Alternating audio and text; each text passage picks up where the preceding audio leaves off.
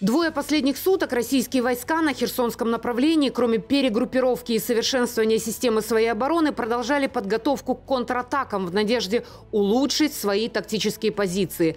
Наступление украинской армии в это же время немного замедлилось. Как объяснил министр обороны Украины Алексей Резников, из-за погодных условий. На юге Украины идут дожди. Что же происходит на Херсонском плацдарме, разбираемся в этом видео. Пока оккупационные власти то эвакуацию гражданских объявляют, то зовут оставшихся в отряды так называемой теробороны, из херсонских парков и скверов продолжают вывозить памятники. Следом за Суворовым и Ушаковым сегодня ночью с пьедестала в неизвестном направлении исчез князь Потемкин. Чуть позже Гауляйтер Сальдо сообщил, что россияне вывезли и его останки.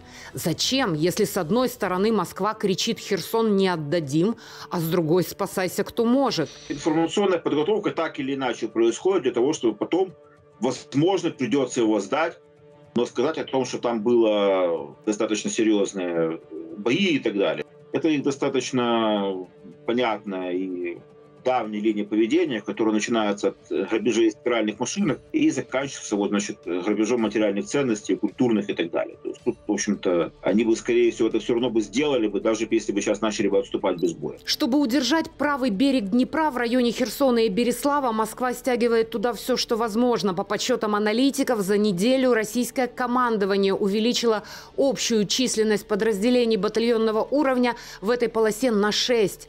И теперь, в общем, по обоим берегам Днепра на Херсонском направлении действуют не менее 39 батальона тактических групп. Но численность группировки в Херсоне от провала на этом участке фронта российскую армию не спасет, разве что немного оттянет сдачу города. Так само ми робили в Ізюмі та Лімані. Тобто, це вже навіть вони назвали почерком залужного. Ми робимо оперативне, як би сказали, оточення якогось групування, але ми не замикаємо кільце тому що замкнуте кільце нам треба буде ціле групування або брати в полон велику кількість людей.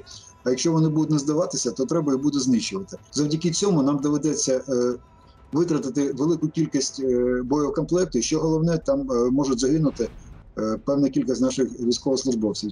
А ми, на відміну від Російської Федерации, мы ценуем наших військовослужбовців. Наступление украинской армии на этом участке фронта действительно сейчас немного замедлилось, как объяснили и в Генштабе, и в Минобороны, из-за дождей и грязи.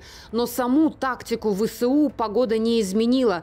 Перерезая линии снабжения и коммуникации, российские войска вынуждают отойти с занимаемых позиций. Мы сейчас контролируем переправы через Днепр днем. Но, как видим, им удается перебрасывать какие-то подкрепления, поэтому э, контроль не стопроцентный. И стопроцентного контроля добиться невозможно, потому что мы их разрушили, потом они что-то снова навели, там, поставили баржи, устроили там понтонные переправы, устроили паромные переправы, что там им удается делать.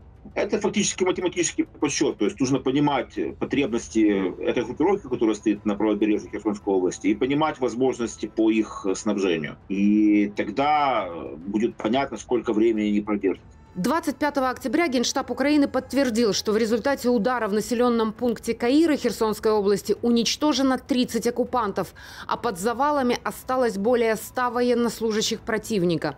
А накануне 24 октября в соцсетях распространяли видео из этого села. Оказалось, что украинские защитники нанесли ракетный удар по базе кадыровцев во временно оккупированной Херсонской области. Сегодня Кадыров объявил Украине джихад – ну как объявил, в своем телеграме, не вставая со стула, немного попугал. Известно, что российское командование свои элитные подразделения из Херсона давно вывело. Видимо, ТикТок войска в этот перечень не входило.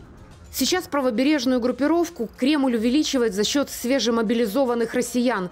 Численно действительно это удалось, но оценивать уровень подготовки таких солдат, мягко говоря, преждевременно. Это может быть политичная игра для ну, вже безпосередньо Російської Федерації для свого для внутрішнього вжитку. Їм е, ну, е, витрачати елітні підрозділи на е, бій, який ми розуміємо, що буде програний, їм немає сенсу. Але для того, щоб була ілюзія, що вони ведуть активні бойові дії, вони можуть там використовувати людей, які вони просто там покладуть, не досягнувши ну, стратегічної військової мети. Тобто, може вони роблять це для, для того, щоб всередині своєї країни підняти хвилю обурення нашої України. Це щось таке схоже було про чорні піджаки, які робив Сталін під час Другої світової війни, коли людям мобілізованим таким чином навіть зброю не давали, давали палки і казали, в бою досягнеш, добудеш зброю для того, щоб всередині країни зробити певну хвилю. Завдяки ну, великой кількості загиблых, яких не шкода. С учетом всех погодных условий и попыток россиян уйти в глухую оборону Херсона, Американский институт изучения войны прогнозирует, что до конца этого года украинская армия полностью возьмет под контроль правый берег Херсонской области. А что думаете вы? Пишите ваше мнение в комментариях и подписывайтесь на наш телеграм-канал «Дежурный по Донбассу», чтобы первыми узнавать о событиях на востоке Украины.